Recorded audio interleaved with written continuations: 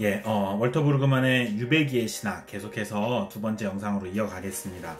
어, 브루그만은 어, 지금 이 post Christendom 시대 어, 교회가 사회의 변방으로 밀려나고 마치 이스라엘 백성들이 바벨론 땅에 포로로 끌려가듯이 어, 기독교가 세상에 포로로 잡혀 있는 것 같은 이런 시대 속에서 우리에게 필요한 시각은 어, 승리주의적인 시각이 아니다 라고 이제 이야기를 합니다.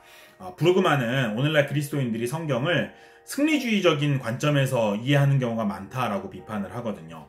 어, 그러니까 그리스도인은 성공하고 그리스도인은 이 땅에서 승리하며 어, 악인들은 이 땅에서 패배하고 실패한다라는 관점으로 성경을 해석한다라는 거죠. 그런데 오늘 우리의 현실 앞에 이 포스트 크리스텐덤이라는 현실 앞에서 어, 너무나 혼란스러운 거예요. 그렇게 성경을 읽다 보니까 또 특별히 그리스도의 십자가 앞에서 이 승리적이 이 승리주의적인 시각은 도무지 해석할 수 없는 어, 모순에 봉착하게 되는 거죠. 하나님께서 그리스도를 완전한 실패자로 만드시는 거거든요. 하나님께서 그리스도를 완전한 그 패배자의 자리로 지금 몰아내시는 장면이거든요. 그 앞에서 우리가 어떻게 어, 이, 이, 이 현실을 받아들일 수 있냐라는 겁니다. 어, 이제 근데 그 속에서 우리는 이 그리스도의 십자가에서 우리는 어, 끊임없이 의문을 갖게 되는 겁니다. 끊임없이 어, 고민하고 회의하게 되는 거죠. 그 속에서 우리는 이 세속적인 승리주의를 초월하는 하나님의 진리를, 진리를 발견하게 됩니다.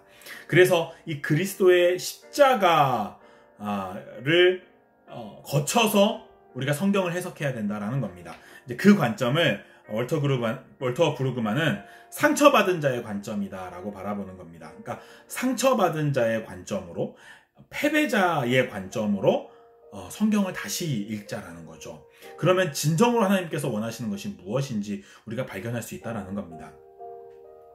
브루그만은 특별히 어, 어, 이 오늘 우리 시대를 지배하고 있는 특별히 서구 사회를 지배하고 있는 이 자본주의 정신을 아주 강하게 비판합니다.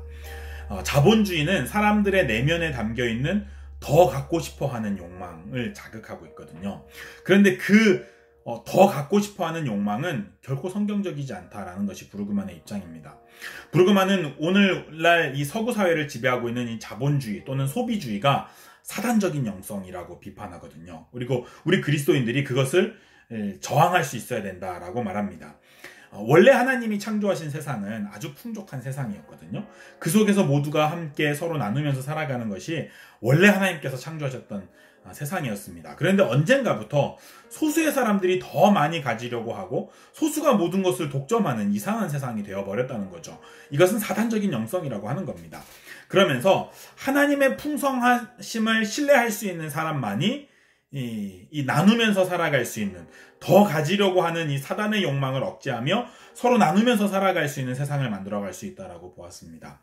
이것이 이 자본주의에 갇힌 어, 우리 시대를 초월하는 길이라고 본 거죠. 그러면서 이것을 성경에서 가장 잘 보여주는 것이 안식일 정신이라고 말하거든요. 안식일날 우리가 하루 쉴 수 있는 것은 우리에게 일용할 양식이 있다라는 믿음 때문입니다. 또 모두에게 하루치의 양식을 주시는 이 만나 정신이 우리가 이 자본주의 시대 속에서 어, 기억해야 되는 이 시대 정신을 초월하면서 기억해야 되는 하나님의 정신이다라는 것이 이제 부르그만의 에, 생각이었습니다. 그러면서 이제 부르그만은 이스라엘 백성들이 구약 시대에서 위기를 만난 장면을 크게 세 가지로 꼽습니다. 어, 하나는 아론이 금 송아지를 숭배하였을 때, 그러니까 모세가 십계명을 받기 위해서 시내산에 올라가고 그 동안에 아론이 금 송아지를 만들어서 이스라엘 백성들과 함께 우상 숭배를 하잖아요. 그 장면이 이스라엘의 위기였다라고 바라보는 거고요. 또 하나는 북이스라엘 왕국이 아수르에 의해서 멸망당할 때, 이게 이스라엘의 위기였다라고 보는 겁니다. 또 세 번째는 이제 남유다 왕국이 바벨론에 의해서 멸망당할 때를 이제 이스라엘의 위기다라고 바라보거든요. 그런데 이 세 번의 위기 때에 하나님은 이스라엘 백성들에게 동일하게 자기 자신이 누구인지를 가르쳐 주셨습니다. 나는 이런 존재야 라는 것을 위기 때에 가르쳐 주셨다는 거죠. 그때마다 하나님께서 동일하게 주신 말씀들은 여호와는 공의롭고 자비롭고 은혜롭고 긍휼을 베푸시며 인자와 진리의 하나님이다라는 것을 말하 계속 말씀해 주셨습니다. 그러니까 이 세 번에 걸쳐서 어, 이 공의롭고 자비롭고 은혜롭고 긍휼이 풍성하며 진리와 인자의 하나님이 이렇게 계속해서 번갈아 가면서 등장하는 거죠. 그런데 이 특별히 세 번의 위기의 순간에 어, 이, 이 세 번의 장면에서 어, 모두 다 등장하는 하나님의 모습은 은혜롭고 극률이 많으신 하나님입니다. 그러니까 이 은혜로운 하나님, 극률의 하나님, 헬세드의 하나님, 라함의 하나님은 이 세 번의 위기의 장면에 모두 다 등장합니다. 그러니까 하나님은 이스라엘 백성들이 위기에 처했을 때 그들을 버리시는 하나님이 아니라 은혜로운 하나님, 극률의 하나님으로 그들을 찾아가셨던 거죠. 그리고 모세는 그 위기의 순간에 어, 이 하나님의 자기 계시를 붙잡고 기도하는 겁니다. 긍휼이 많으신 하나님, 은혜로우신 하나님, 우리 이스라엘 백성들을 긍휼히 여겨 주십시오. 라고 기도하는 거죠. 이사야도 이 위기의 순간에 은혜의 하나님, 긍휼의 하나님을 바라보면서 새로운 희망을 얻게 되는 겁니다. 그러면서 이제 부르그마는 오늘 우리 시대에도 우리가 붙잡아야 하는 것은 어제나 오늘이나 변함없이 동일하신 이 은혜와 긍휼의 하나님이다 라는 거죠.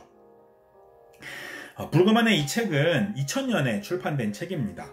어, 서구교회가 점차 사회 속에서 영향력을 잃어가고 서구교회가 위기에 직면했을 때 어, 브루그만은 서구교회가 유배기에 접어들었다라고 보면서 어, 이스라, 구약 성경에서 유배기에 처해 있는 이스라엘 백성들의 모습을 통해서 어, 오늘 우리 이 서구 시대 서구 사회에 주신 하나님의 메시지를 예, 전하였거든요. 21세기 이후에 한국 교회도 점점 사회 속에서 변방으로 밀려나가고 있고요. 또 한국 기독교가 특별히 이제 이 코로나 시대에 더 위기에 지금 직면하고 있습니다. 어, 하나님이 마치 우리를 세상 속에 포로로 어, 내어 주시는 것 같은 그런 모습이에요. 어, 분명히 한국 교회도 점차 유배기에 접어들고 있는 것 같습니다. 이때에 부르그만이 서구 사회에 에, 에, 이 책을 통해서 유배기의 신학을 던졌듯이 오늘 우리 시대에도 이 유배기의 신학이 우리에게 던지는 메시지가 있지 않나 싶습니다. 오늘 우리를 향한 이 하나님의 메시지를 어, 듣고 오늘 우리가 어떤 것을 성찰하며 어, 우리가 다시 회복해야 될 하나님의 백성의 모습은 무엇인지 오늘 우리가 다시 붙잡아야 될 하나님의 모습은 무엇인지 다시 한번 생각할 수 있는 저와 여러분이 되기를 소망합니다. 고맙습니다.